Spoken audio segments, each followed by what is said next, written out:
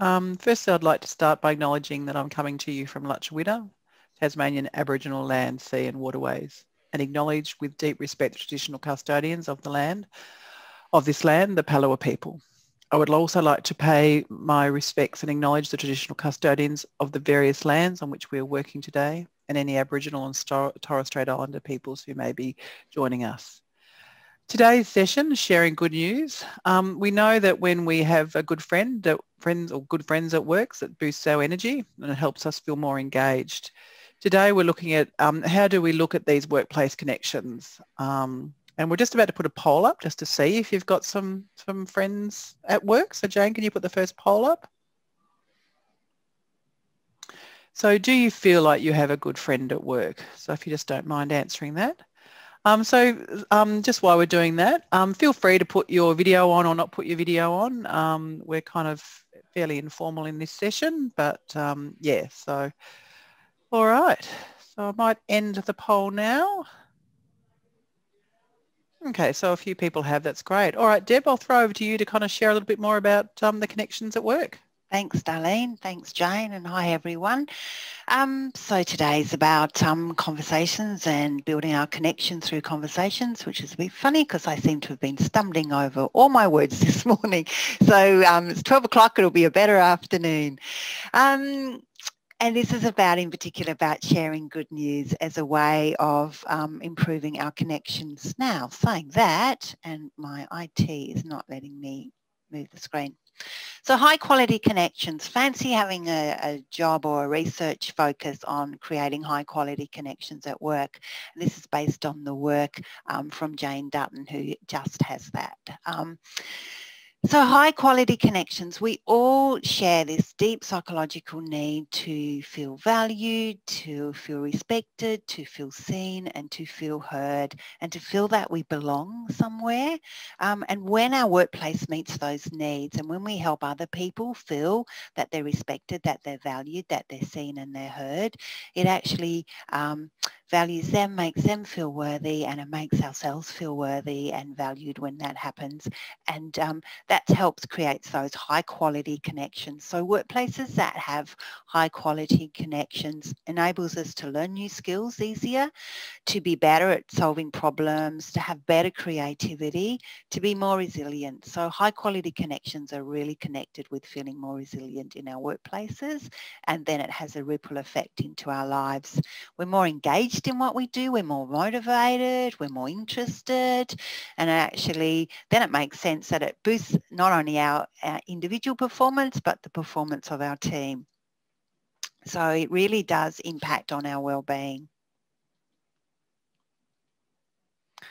So one way that we make those high quality connections is our conversations. So we need those high quality connections also to um, boost our friendships, maintain our friendships and create other friendships.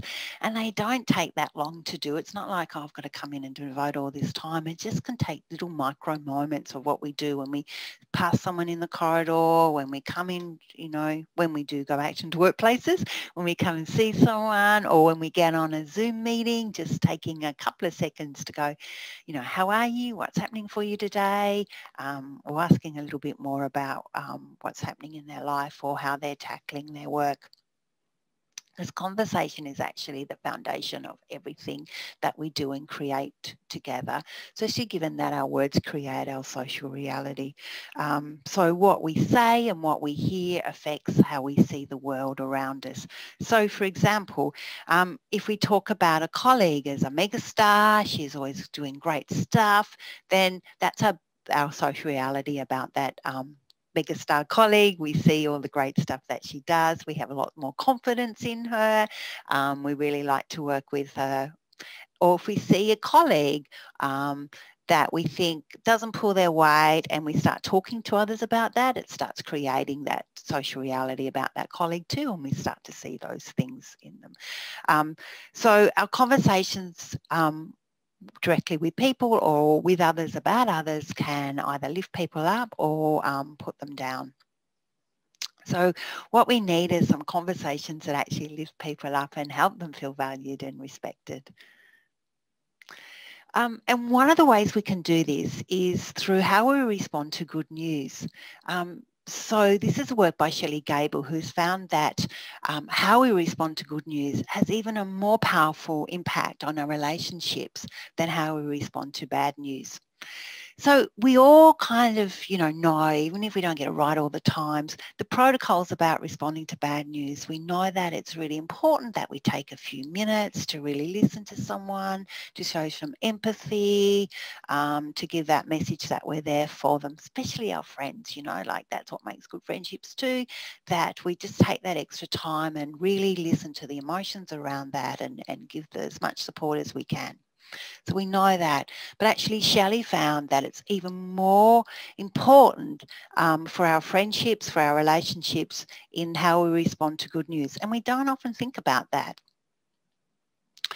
So she came up with, uh, well, she's found that active constructive responding is one of the best ways to boost our relationships with others. And I just, this is one of my favorite little tools around because it's just so clear and it can be so powerful and so easy to do when I remember and um, when I'm intentional about it. So we can respond to people um, actually in a destructive or constructive way and we can be passive and active in the way and we do that. So for example, and it's really interesting when you know this tool, you see it play out all around you. So if you're destructive, destructive and if you're passive when someone gives you good news, you actually shift the focus of the story to yourself. So if I tell you, oh, I saw this great movie on Netflix last night, um, you was, or someone tells me, I saw this great movie on Netflix last night. If I'm being destructive and passive, I'll say, ah, oh, well, I saw this great movie on Netflix the other night. You should have seen that. So I just take the focus away from the person and onto myself.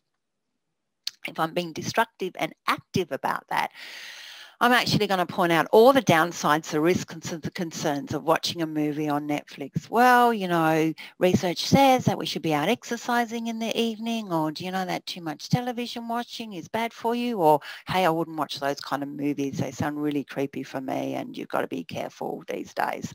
Um, so I'm just actually putting a downer on that good story. So you could notice if someone, if you're telling someone a really good news story and um, the person that you're telling either shifts the focus on you or gives you all the downsides of it, your energy goes down, you're falling flat. Well, you know, there goes that good story. Um, totally deflating.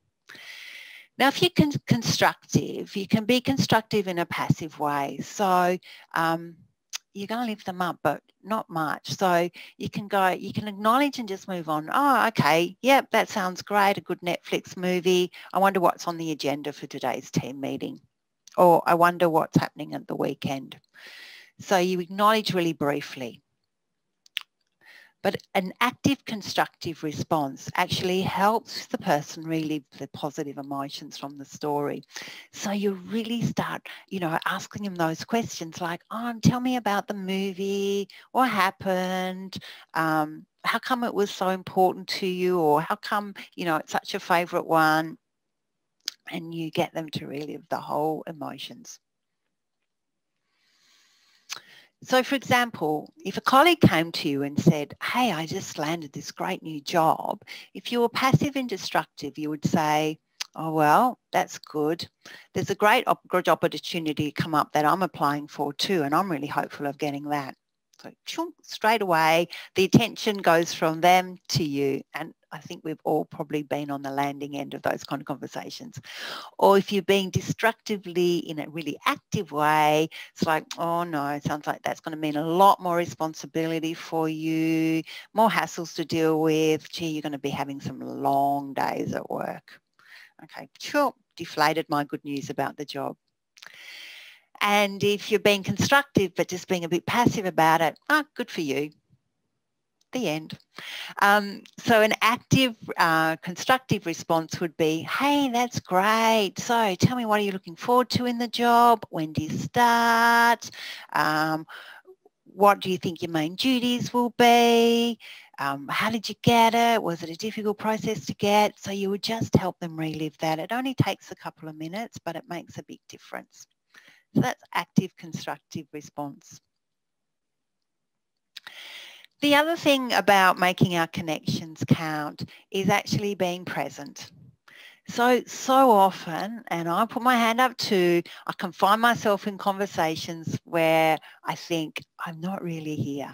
I'm not really here. I'm starting to think about what I need to do next, or I'm starting to think about what I didn't do yesterday, or I am, um, you know, just, I'm just, you know, getting, looking on my computer, I might be Googling something, or the phone interrupts. Um, so to make our conversations count, the other thing is that we need to be really present, not just in our body, but in our mind and our heart too. So it takes turning away from our laptops, so especially when we're back on campus and people coming in to see us, it's like turn right away from your laptops, you know, side on if you sit, um, meet someone on the desk, so you're looking at them, um, putting away our phone. So even the presence of a phone um, on the table when you're catching up with someone, either in a work meeting or socially, even the presence of the phone on the table can be a distraction and gives a subtle message to the other person that you're not really 100% present. And stop daydreaming, which means sometimes um, you'll notice. So it's noticing like, whoops, I'm not really in this um, conversation. I missed the last thing that was said. So it's gently reminding yourself to um, come back. Maybe take a deep breath and um, just remind yourself gently, I'm going to come back into that conversation. Um, and um, yeah, I was just looking. My time is up. My 12 minutes are up. Um, and and set that intention and do that with curiosity do that with you know asking really good open curious questions